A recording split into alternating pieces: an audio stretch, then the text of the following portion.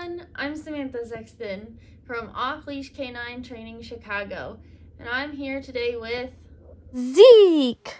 Zeke is a boisterous seven month old Doberman puppy that definitely has the smarts to go with his good looks. Zeke came to us knowing how to come, sit, and down with the help of treats.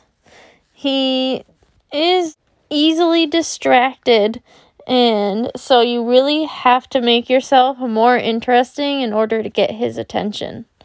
His parents want Zeke to be able to do these things regardless of the situation.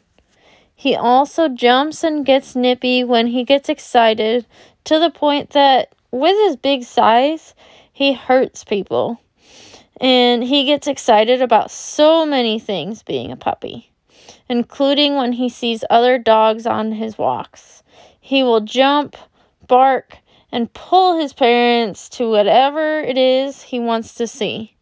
We are going to teach Zeke how to take all that puppy energy and combine it with his smarts to listen to his parents no matter what's around him. He can play all he wants without his parents having to worry about him taking it too far in his excitement. They will have a well behaved puppy that has the skills to be a well behaved dog. Now let's see how our hard work has paid off.